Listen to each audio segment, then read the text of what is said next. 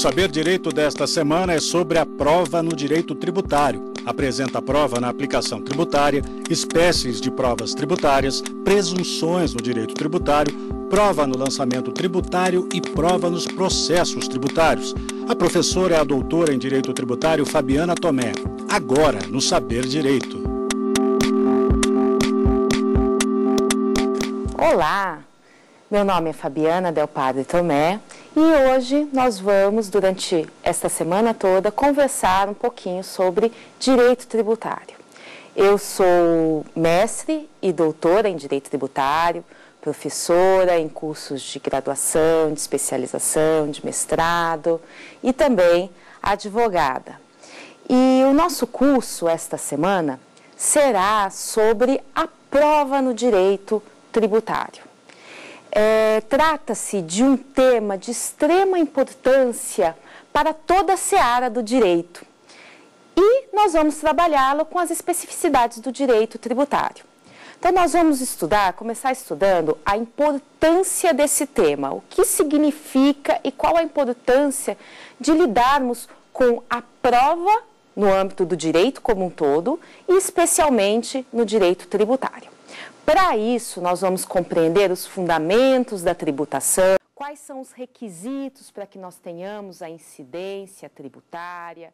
Né? Ao longo do curso também, nós vamos estudar as provas tributárias, quais são as suas espécies, quais delas são admissíveis em direito tributário. Em seguida, nós vamos também estudar as presunções. O que são presunções? Quais são as modalidades de presunções? Quando é que elas são admissíveis? Quando é que elas não podem ser empregadas? Também vamos, com base em todos esses pressupostos, partir para examinar o lançamento tributário. Claro que para isso nós vamos antes firmar algumas premissas sobre o que, que significa esse ato de lançamento tributário, quais são as suas características e como que a administração pública deve lidar com as provas na hora de realizar esse ato tão importante para a constituição da obrigação e do crédito tributário. E, por fim, quando é, nós temos discussões em torno deste crédito, quando o contribuinte discorda sobre a sua exigência, sobre a sua quantificação, entramos na seara dos processos, processos administrativos e processos judiciais. E nesse campo, novamente, assume uma imensa importância a figura da prova. Nós vamos ver então como que este elemento passa por toda essa cadeia do processo de positivação do direito, desde o surgimento dos pressupostos das obrigações tributárias até a sua aplicação final, até a solução das lides, dos conflitos administrativos e judiciais que envolvam o crédito tributário. Então, este é o tema que nós vamos estudar ao longo desta semana é, e hoje, especificamente, nós vamos falar sobre esses pressupostos, ou seja, a importância da prova para fins de aplicação do direito tributário. Para isso, nós precisamos começar compreendendo como que surge uma obrigação tributária. Quais são os seus fundamentos? Nós sabemos que na esfera civil, por exemplo, para surgir uma obrigação, existe um acordo de vontade entre as partes. Né? Um comprador e um vendedor entram em acordo, decidindo um preço, um objeto e firmando aquele contrato, aquele pacto, surge uma obrigação, que é uma obrigação voluntária né? ex voluntar. No entanto, quando nós falamos de obrigações de direito público, como é o caso da obrigação tributária, essa vontade do devedor não entra em jogo. Por quê? Porque nós temos previsões que começam lá na Constituição, precisam estar previstos por essa Constituição que reparte as competências tributárias. Então, o Constituinte, no caso o Constituinte de 88, ao relacionar quais são os poderes que podem exercer a União, os estados, Distrito Federal e também os municípios, discriminou, relacionou o que cada um deles pode tributar. Assim, indicou quais são os impostos, as taxas, as contribuições de melhoria, os empréstimos compulsórios, as demais contribuições que lhes cabe. E em relação à maioria desses tributos, principalmente tratando-se de impostos, a Constituição relacionou quais são os fatos suscetíveis de tributação. Não bastasse isso, a Constituição indica também que é necessário uma lei que institua o tributo, que traga todos os seus pormenores para que nós possamos ter essa obrigação tributária como surgindo no mundo. Né? Esse artigo é o artigo 150, inciso 2 da Constituição da República. Ele prescreve que é vedado à União, aos estados, ao Distrito Federal e aos municípios instituir ou aumentar tributo sem lei. Então, é necessário, para que surja a obrigação tributária, que nós tenhamos uma lei que tenha sido editada de acordo com os ditames constitucionais, traçando todos os pormenores para a incidência, ou seja, para a exigência desse tributo.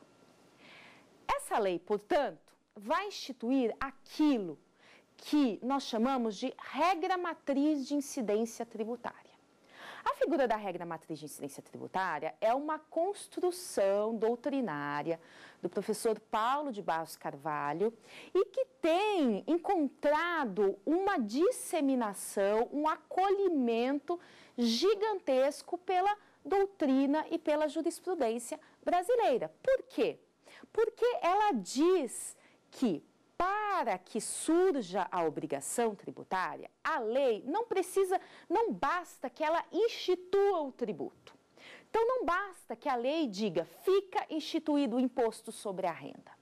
Porque se assim for, como é que o sujeito vai identificar quando surge essa renda, onde essa renda deve ser oferida, qual é a alíquota, qual a base de cálculo, para quem ele deve pagar?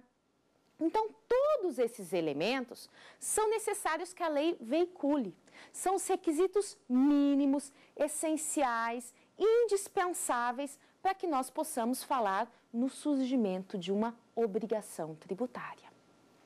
Desse modo, nós temos que a lei precisa instituir o tributo com todas essas características. Então, exemplificando, voltando aqui ao imposto sobre a renda partindo do fundamento constitucional a que nós nos referimos, essa Constituição vai veicular que compete à União instituir o imposto sobre a renda. Essa Constituição também veicula que isso precisa ser feito por lei. Então, é preciso que o Poder Legislativo da União se movimente e edite uma lei que não apenas diga fica instituído o imposto sobre a renda, mas que diga fica instituído o imposto sobre a renda a renda considera-se auferida no dia 31 de dezembro de cada exercício. Considera-se renda tudo aquilo que for auferido no território nacional ou ainda que no exterior por alguém residente ou domiciliado no território nacional. Veja que nós temos aí as condutas de auferir renda com uma conexão no território nacional no último dia do exercício financeiro. Com base nisso, vai surgir uma obrigação de que aquele que auferiu renda terá o dever de desembolsar e pagar para a União o valor equivalente a um percentual, que pode ser em virtude da progressividade de 15 ou de 27,5%, calculado sobre o quê? Calculado sobre o valor da renda a ser pago para aquela pessoa política. Desse modo, nós podemos evidenciar o quê? Que é preciso que aconteça exatamente aquilo que está previsto na lei. Então aí nós chegamos no ponto crucial da prova. Por quê? Porque para que essa lei atinja as condutas, para que ela possa ser aplicada, para que surja aquela obrigação, é imprescindível ter, além da previsão constitucional, além da previsão legal, que aconteça aquele fato previsto na lei. E nós só saberemos que aconteceu aquele fato previsto na lei em virtude de provas, em virtude de elementos que sejam demonstrativos daquele acontecimento. Para compreendermos melhor esse ponto, voltemos para o artigo 3 do Código Tributário Nacional. Este artigo estabelece o que é um tributo. Tributo é prestação pecuniária, compulsória, em moeda ou cujo valor nela se possa exprimir, instituída em lei, que não é sanção de ato administrativo e cobrada mediante atividade administrativa plenamente vinculada. Então, o que, que nós temos aí de importante para este elemento da prova? É exatamente a circunstância de que, para que surja uma obrigação tributária, não depende de um acordo de vontade das partes. Depende, isso sim, de que eu tenha uma previsão legal que esteja de acordo com a Constituição e que um determinado sujeito, que é o contribuinte, pratique aquele fato previsto na lei. Então, são duas as decorrências. Primeiro, eu preciso ter a lei. Segundo, o sujeito precisa praticar o fato previsto na lei. Mas só isso ainda não é suficiente. É preciso que este fato preencha todos aqueles requisitos legais. É aquilo que nós chamamos de subsunção. Subsunção do fato à norma, que diz respeito ao perfeito enquadramento, aquele encaixe daquele fato concreto, individualizado na previsão normativa. Então, é imprescindível o quê? Que eu certifique um determinado acontecimento, que eu identifique que ele aconteceu, que eu identifique a medida em que ele aconteceu. Como assim a medida? A medida é a intensidade financeira, é a intensidade pecuniária. Então eu preciso saber que fato aconteceu, onde ele aconteceu, quando ele aconteceu, quem o praticou e qual a dimensão pecuniária daquele fato. Isso porque, dependendo de acontecimento ou não do fato, surge ou não a obrigação tributária. E mais ainda, como nós temos uma repartição das competências com vários entes habilitados para fins de exigência de tributos, pensemos no ISS, Imposto sobre Serviços de Qualquer Natureza, que é de titularidade dos municípios. Né? É, salvo uma, algumas exceções expressamente relacionadas na Lei Complementar número 116 de 2003, as demais hipóteses de prestação de serviço são devidas para o município onde elas sejam prestadas. Então, onde houver a prestação do serviço, né, onde houver este é, desenvolvimento da atividade, é que se considera prestado aquele serviço. Logo, o titular município daquela cobrança será aquele onde se der a prestação do serviço. Daí, eu não, não, é, não é preciso apenas provar que houve a prestação de serviço. É imprescindível demonstrar também onde é que ele foi prestado. Porque se foi prestado no município A, a titularidade da cobrança é dele. Se foi prestado no município B, a titularidade da cobrança é dele. Então, por aí, nós já vemos qual é a importância desses elementos probatórios. Né? Eles são é, essenciais para determinarmos essa incidência, essa aplicação que nós estamos aqui estudando. E mais ainda, a importância deles advém da circunstância de que o acontecimento em si ele é efêmero. Ele se esvai no tempo e no espaço. Desse modo, eu só vou saber que aconteceu alguma coisa efetivamente se houver elementos probatórios em relação a isso. Vamos ver uma das perguntas dos nossos estudantes. Qual a diferença entre um fato social e um fato jurídico tributário? O fato social é aquilo que acontece na nossa realidade, no nosso dia a dia. Se eu vou até um determinado estabelecimento comercial e resolvo comprar um objeto qualquer, nós estamos praticando algo comum. Né? Eu escolho um objeto, negocio, peço descontos, vejo quais são as formas de pagamento, efetuo esse pagamento, retiro esse objeto e o levo comigo. Né? Com isso, nós temos um acontecimento social como outro qualquer. Mas, para que este acontecimento social ele tenha importância jurídica, é preciso que ele entre pelas portas abertas da hipótese normativa. Como assim? É que o direito, ao estabelecer essas normas jurídicas, ao estabelecer, no caso, a regra matriz de incidência tributária, dispõe qual é o fato que desencadeia uma consequência jurídica.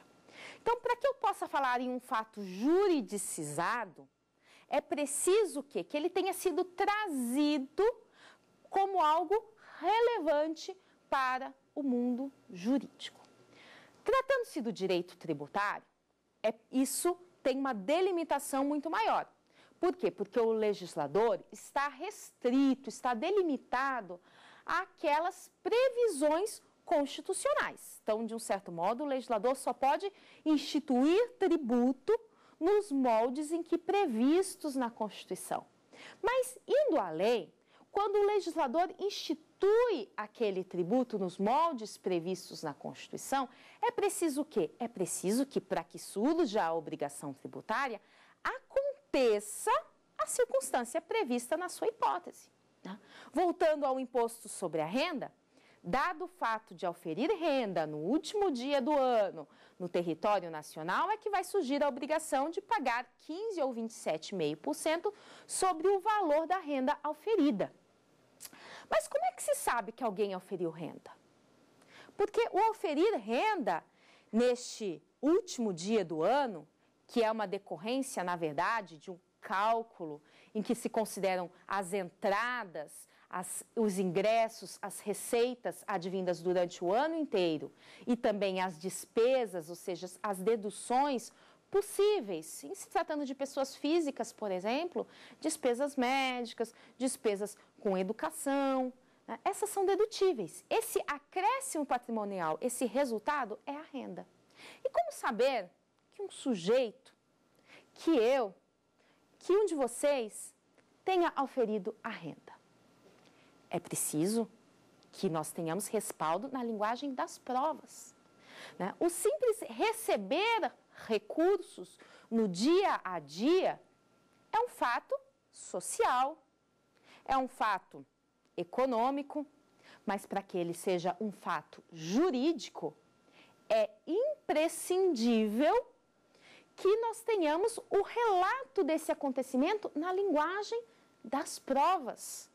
Ou seja, é preciso que haja documentos, é preciso que haja uma materialidade daquilo ali, para que ele ingresse para o mundo jurídico, para que ele seja relatado na linguagem do direito. Então, enquanto um fato social é aquilo que acontece no dia a dia, um fato jurídico é aquilo que, além de ter sido previsto por uma norma do direito, também se concretizou com base numa linguagem reconhecida pelo direito. Fato, né, só para nós fazermos aqui algum esclarecimento a respeito disso, fato é um acontecimento passado, delimitado no tempo e no espaço. Por isso é que, quando eu vou delimitar juridicamente esse fato, eu tenho um fato jurídico. E por isso que, para que nós possamos ter, por exemplo, a cobrança de um imposto sobre a renda de um determinado sujeito, é preciso que haja provas dessa renda oferida. Não basta um relato social. Não basta, por exemplo, uma denúncia de que um sujeito A ou B tenha recebido valores e não os declarado para a Receita Federal do Brasil e não ter efetuado o recolhimento do correspondente imposto sobre a renda. É imprescindível que nós tenhamos elementos acolhidos pelo direito, elementos que o direito juridicize como tal para fins de reconhecimento dessa circunstância. Então aí é que vem os poderes investigatórios, é que vem os poderes de fiscalização que são conferidos para a administração pública. E que ao mesmo tempo que é um poder, ele assume então uma feição de dever porque essa atividade da administração pública é uma atividade obrigatória, é uma atividade vinculada, ela tem esse dever de fiscalizar e verificar se houve ou não o acontecimento daquele fato jurídico tributário, que o Código Tributário Nacional chama de fato gerador. Então é preciso que ela verifique se esse fato se concretizou. Mas para que ela faça isso, ela precisa também adotar aqueles procedimentos que são necessários, que são previstos pelo ordenamento jurídico. Então, não é qualquer agente fiscal, qualquer é, autoridade administrativa que tem essa possibilidade. Né? A, as normas de competência estabelecem quem é que são os sujeitos que tem essa autorização para buscar esses fatos e quais são os mecanismos que devem ser observados. Então, para fins de aplicação da norma tributária, é preciso o quê? Que eu tenha esse fato jurídico aqui intercalar como previsto nestas regras de tributação. Só para nós então consolidarmos este ponto, quando nós falamos em aplicação do direito, em aplicação da lei tributária, nós temos o quê? Uma camada de linguagem, que é exatamente a lei, estabelecendo que se acontecido um certo fato num dia e num local, surgirá uma obrigação tributária, né, tendo por objeto o pagamento de um crédito tributário. Mas isso é uma previsão ainda abstrata. Pode ser que o sujeito alfira renda, pode ser que não. Pode ser que ele circule mercadorias, pode ser que não. Então, para que eu tenha a incidência, para que eu possa fazer a aplicação dessa lei, para que surja, portanto, uma obrigação tributária concreta, individualizada para um determinado sujeito, é preciso que eu tenha o elemento prova. É preciso que eu tenha, portanto, o acontecimento do fato previsto na lei e que, como comentamos, até com base na pergunta de um dos estudantes, né, não pode ser um fato simplesmente social. Tem que ser um fato jurídico. Portanto, é preciso o quê? Que sejam adotados mecanismos próprios, específicos, para que nós possamos relatar esse acontecimento fático, para que ele possa ser investigado e possa ser certificado, né, considerando que esse acontecimento, ele no mundo social, ele é efêmero, ele se esvai no tempo e no espaço, como é que uma autoridade administrativa vai saber que aconteceu uma compra e venda? Essa compra e venda aconteceu há dois, três, quatro anos ela não tem como voltar no tempo para olhar e verificar que aquilo aconteceu. A constituição do crédito tributário, a aplicação da norma tributária é sempre posterior ao acontecimento. Então, é imprescindível que esse acontecimento tenha deixado vestígios, que ele tenha deixado sinais, que ele tenha deixado aqueles elementos imprescindíveis para que a autoridade administrativa, olhando para eles, consiga delimitar o que aconteceu, para que ela possa dizer que, num determinado estado, aconteceu uma circulação de mercadorias, cuja venda foi promovida por um contribuinte A, né, que é o vendedor da mercadoria, e cujo valor dessa mercadoria foi num, num valor de 10 mil reais, por exemplo para poder, com base nisso, fazer incidir a norma jurídica. Então, como nós vimos, é preciso que, para que eu tenha a subsunção, aconteça o fato previsto naquela norma. Daí que, como esse fato é sempre passado, a autoridade administrativa, para poder dizer que houve essa compra e venda do exemplo que nós acabamos de dar, ela vai precisar o quê? Dos elementos que justifiquem por que motivo ela acredita ou ela tem certeza, porque ela não pode fazer, claro, um lançamento tributário com base em meras suspeitas, com mera, base em meras dúvidas. Então, por que, que ela acredita, por que, que ela tem a convicção de que aconteceu aquela compra e venda sem o correspondente pagamento do imposto, no caso do ICMS, e qual é o valor, por que, que ela acredita que o valor daquela compra e venda foi de 10 mil reais? Ela não pode simplesmente imaginar isso, supor isso, presumir isso com base e na sua fértil imaginação. Ela precisa de elementos concretos, precisa de elementos que deem suporte para que aquela circunstância seja tida como um fato gerador, um fato jurídico tributário. Somente feito esse procedimento, somente com base nesse suporte é, probatório, é que pode ser constituído o crédito tributário. E isso retoma mais uma vez aquilo que nós falamos no início dessa aula. Aquilo que nós registramos, que é a circunstância de que no direito tributário, que é um direito público, a obrigação tributária não surge apenas ou simplesmente ou dependente da vontade do particular. Ela surge do efetivo acontecimento de um fato previsto na lei. E ela é impositiva.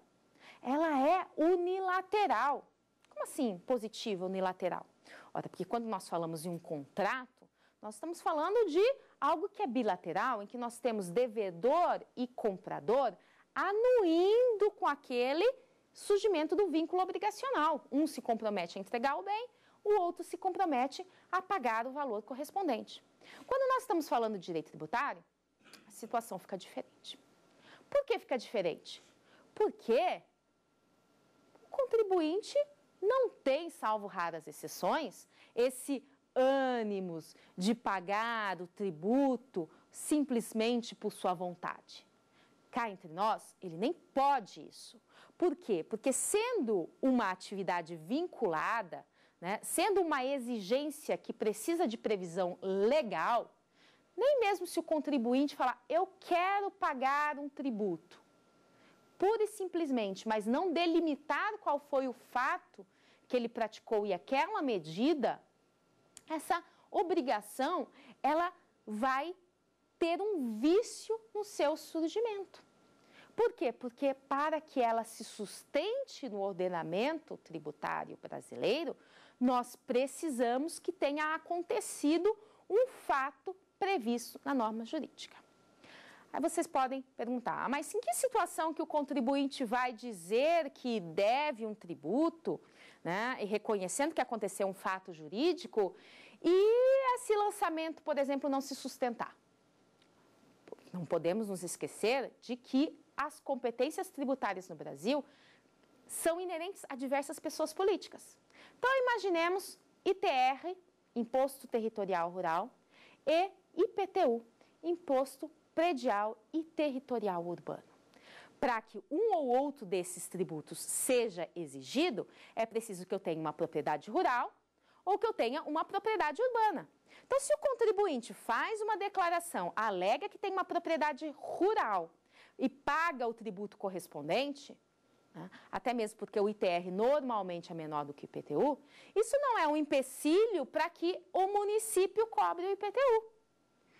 Não é? Vai cobrar duas vezes? Não, o correto é cobrar uma vez só, mas cobrar por aquele que tem o direito de fazê-lo. Se o contribuinte tinha propriedade rural, devia pagar ITR. Mas se apesar de falar que tinha propriedade rural, ele na verdade tinha uma propriedade urbana e o município demonstra isso com linguagem nas provas, tem, ele tem sim a possibilidade de constituir o crédito tributário correspondente e exigir o IPTU, né? cabendo aí ao contribuinte que declarou equivocadamente solicitar a restituição, ou seja, a devolução do valor que ele pagou a título de imposto territorial rural para a União. Mas vamos para mais uma pergunta de um dos nossos estudantes. Eu queria saber por que a prova é tão importante em matéria de tributação. A prova ela é tão importante para o direito tributário ou para qualquer outro ramo do direito pela circunstância de que quem pretende exercer e constituir uma obrigação tributária, constituir uma obrigação qualquer, depende da sua demonstração. Antes de responder propriamente a pergunta quanto à sua importância no direito tributário, eu quero esclarecer a importância da prova em geral. Para todos os estudantes, para todos aqueles que lidam, que são os operadores do direito. Porque imagine uma determinada situação em que você é advogado, está em seu escritório, chega um cliente e ele lhe relata uma história. Né? Relata, por exemplo, pode ser uma história de direito civil, uma compra e venda e que os, ele fez o pagamento e o vendedor não entregou o bem e, portanto, ele quer entrar com uma ação para solicitar a entrega do bem, né? para compelir a entrega do bem. Nesse caso, a primeira coisa que vocês devem perguntar? Quais são as provas? Exatamente, quais são os elementos probatórios que esse cliente tem para que você possa ingressar em juízo? Porque você não pode simplesmente fazer uma petição inicial relatando a história, por mais minuciosa que ela seja, mas sem elementos da prova deste fato que vocês estão relatando. Então é preciso que tenha um contrato. Ah, mas ele não formalizou o contrato documentalmente, foi só um, do, um contrato verbal. Bom, então é preciso que tenha testemunhas para que nós possamos reduzir a termo esse acontecimento. Ou então é preciso que nós tenhamos o que? Manifestações posteriores, né? ações desses sujeitos que indiquem que houve uma compra e venda. Então vejam que, por mais que nós estejamos neste curso conversando sobre o direito tributário, a importância da prova para o direito tributário, essa prova assume importância em qualquer demanda, em qualquer espécie de lide que, que se instaure no ordenamento jurídico. Agora, no direito tributário, nós dizemos que essa prova assume uma relevância ainda maior pela circunstância de que o tributo é uma obrigação ex lege. Ou seja, o tributo é uma obrigação que decorre de lei. Isso significa que, por exemplo, uma confissão não é suficiente. Imaginemos que tenhamos uma confissão de um sujeito, eu, ao fazer a minha declaração do imposto sobre a renda, acabo confessando, digito um zero a mais e declaro que recebi 200 mil reais durante o ano. Isso se afigura como uma confissão, que é exatamente afirmar um acontecimento fático que vai desencadear uma obrigação para mim, né? algo que seria negativo para mim, que é esse dever de pagar o imposto sobre a renda. Claro que se eu não contestar esses elementos, a União pode simplesmente inscrever esse débito em dívida ativa e executá-los e cobrá-los. Mas, se eu me aperceber em algum desses momentos, quando eu sou notificada dessa inscrição em dívida ativa, de que eu vou ser inscrita pelo fato de que eu declarei, eu confessei que havia oferido renda de 200 mil reais e não paguei imposto correspondente a isso, eu posso chegar e falar: não, eu errei. A minha renda não foi de 200 mil reais, a minha renda foi de 20 mil reais, eu errei na hora de digitar um zero. Mas eu simplesmente basta alegar isso? Não. Eu tenho que trazer o elemento de prova. Daí eu trago, por exemplo, o meu informe de rendimentos, né? Quando é, um, alguém presta serviços para uma pessoa jurídica, para uma pessoa física, é, ou então desenvolve um trabalho assalariado, esses, esses tomadores desses serviços ou empregadores têm a obrigação de fornecer um informe de rendimentos, que é exatamente uma relação dizendo: olha, você recebeu neste ano determinado valor e eu retive um outro valor a título do imposto sobre a renda. Então, com esse informe de rendimentos, eu mostro que eu não oferi 200 mil reais, que eu oferi 20 mil reais. Por isso, estava ainda na faixa da isenção do imposto sobre a renda. Nesse caso, vejam, não pode a autoridade administrativa simplesmente continuar cobrando o tributo com base na minha confissão. Né? Ela tem necessariamente que identificar se aconteceu o fato previsto na lei. É muito parecido neste ponto com direito penal. Né? Então, em vários momentos, o direito tributário ele assume uma similaridade com o direito penal. Vejam a questão da necessidade de legislação prévia, então, uma lei prévia que institua o tributo, que o discrimine em todas as suas características. É preciso também que essa lei traga todos os elementos que, até mesmo por essa similaridade com o direito penal, recebe o nome de tipicidade tributária. O que é a tipicidade tributária? A tipicidade tributária é um princípio constitucional segundo o qual, para que possa ser constituída uma obrigação tributária, para que possa ser exigido o tributo, não basta que a lei institui o tributo, dizendo fica instituído o imposto sobre a renda. É preciso que ela traga todos os elementos caracterizadores. Né? E mais ainda, não basta essa lei. É preciso que aconteça o fato típico. Né? Ou seja, que aconteça o fato nos exatos moldes em que foi delimitado por aquela legislação. Não pode ser parecido. Não, não ser parecido não basta. É vedada a tributação por analogia. Então, se nós pensarmos por exemplo. Ah, eu não auferi renda. Né? Não é uma hipótese em que eu tenha auferido renda propriamente como um acréscimo patrimonial. Mas eu tomei emprestado, recebi emprestado um determinado valor. Então, com isso, eu pude desenvolver uma série de atividades.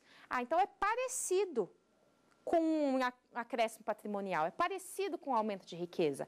Vamos fazer incidir imposto sobre a renda? Não. Terminantemente, não. É absolutamente vedado esse tipo de postura, esse tipo de medida. Porque a tipicidade exige que o fato tenha as mesmas características daquela previsão legal. Então, com base nesse exemplo, voltamos para a questão da prova. Né? Eu recebi um determinado valor. Hoje, nós sabemos que é, as movimentações bancárias são comunicadas para as autoridades administrativas da Receita Federal para fins de verificação da correta declaração dos valores que eu recebo, por exemplo, a título de pagamento de tributos. Né?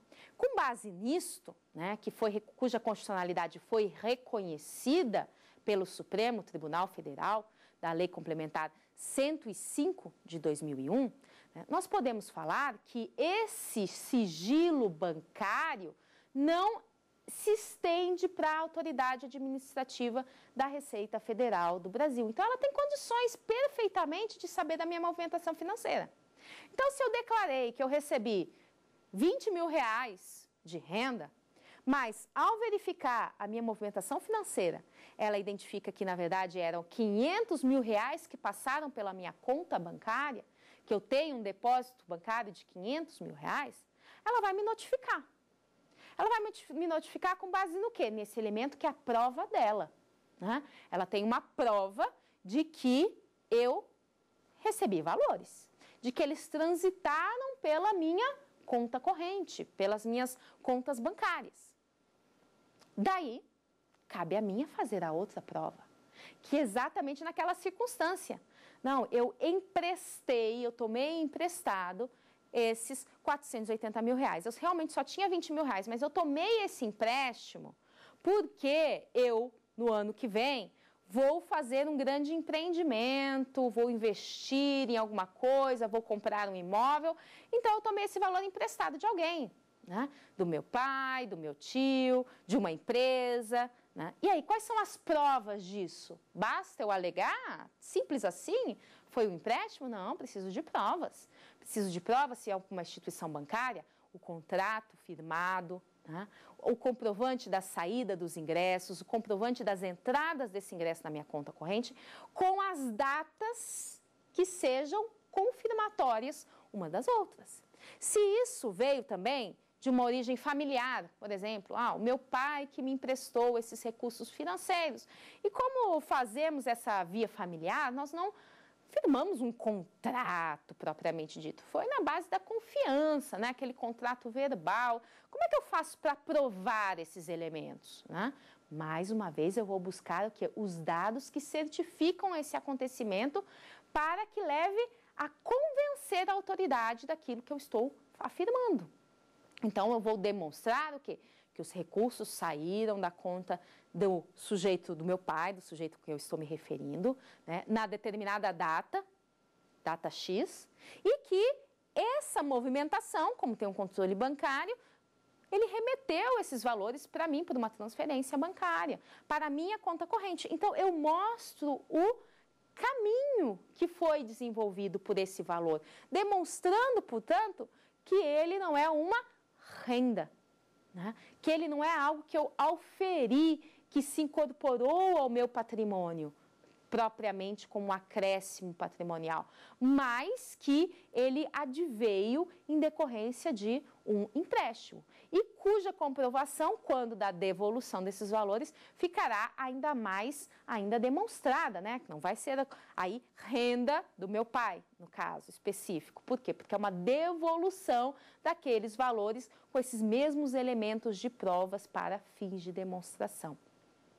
Então, sendo a exigência tributária uma cobrança ex lege e que ela é obrigatória e que ela é vinculada, é imprescindível, é absolutamente necessário que a constituição do fato jurídico tributário, daquele chamado fato gerador concreto, esteja demonstrada. E não só a ocorrência do fato, como quem o praticou. Pensemos num IPTU, né? Imposto sobre a Propriedade Predial e Territorial Urbana. Se um determinado sujeito consta como proprietário no cadastro imobiliário do município, provavelmente o IPTU vai ser emitido, vai ser feito o lançamento, vai ser feita a cobrança em nome dele. Mas talvez tenha acontecido alguma coisa né, e que aquele sujeito não esteja mais com o exercício da propriedade, aquela posse ou domínio útil com aquele ânimos de proprietário. Talvez ele tenha saído daquele imóvel e alguém já ali residindo por longo período a ponto de configurar-se usucapião. Talvez ele tenha feito um contrato privado de compra e venda e às vezes até registrado no cartório imobiliário o registro desse imóvel, mas não comunicou à prefeitura. Claro, se ele deixou de fazer essa comunicação, ele descumpriu um dever. mas é a chamada obrigação acessória, né? o chamado dever instrumental, que cujo descumprimento dá ensejo a uma multa em razão dessa específica inobservância da lei. Mas isso não é suficiente para que possa o município cobrar o IPTU daquele sujeito que está ali no cadastro municipal simplesmente porque essa é a informação que ele tem. Pode ser que ele faça esse lançamento, como provavelmente o fará, porque, como eu disse, é a informação disponível que ele tem. Então, vai emitir o lançamento tributário, que é aquele boleto, aquele carnê do IPTU, e vai remeter para aquele que consta como proprietário no seu cadastro imobiliário. Mas, ao receber isso, ou ao identificar que ele está é, sendo cobrado por esses valores, aquele sujeito que consta no cadastro imobiliário tem o direito de levar os elementos e demonstrar que esses elementos confirmam que ele não é mais o proprietário daquele imóvel, que ele fez uma compra e venda e, portanto, o proprietário passa a ser outro sujeito.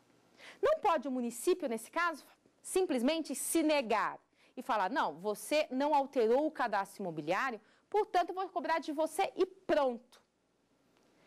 Não. Por quê? Porque a lei exige que seja cobrado do proprietário.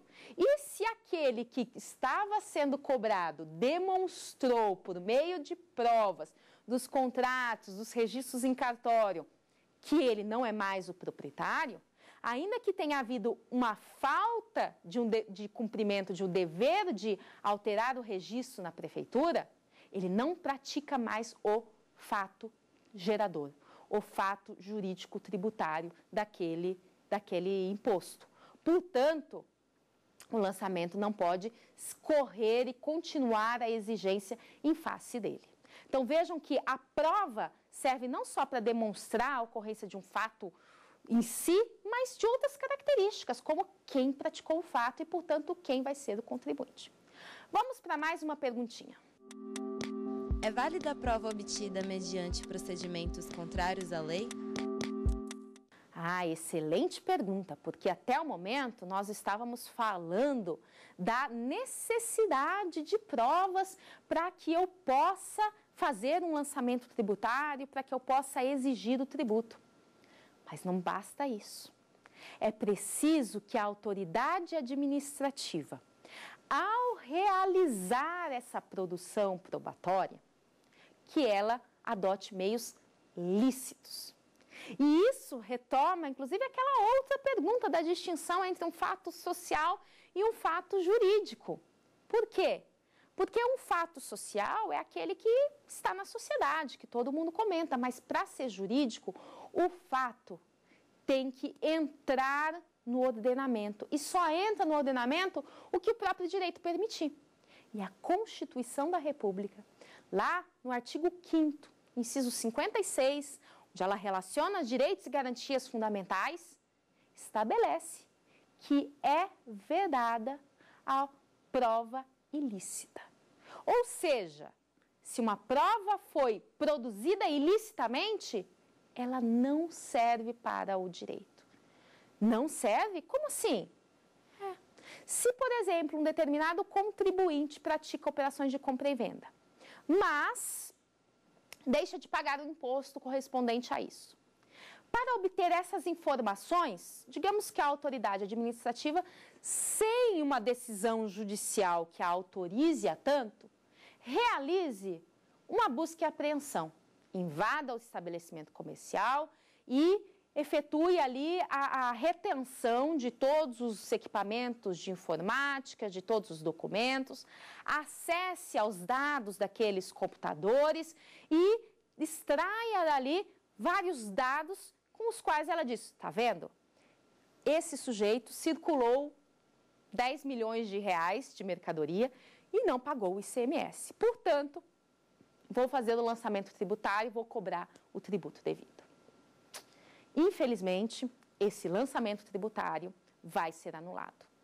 Por quê? Porque ele se respalda, ele se fundamenta em provas obtidas ilicitamente, já que houve, no caso, uma busca e apreensão sem autorização judicial. Então, isso macula aquela prova e macula as suas decorrências. É aquilo que a doutrina brasileira, inclusive acolhido pelo Supremo Tribunal Federal, chama de frutos da árvore envenenada. Ou seja, tanto a prova é ilícita, como tudo aquilo que decorrer, que for obtido em função, como resultado daquela prova ilicitamente produzida, todos esses elementos estarão maculados por ilegalidade.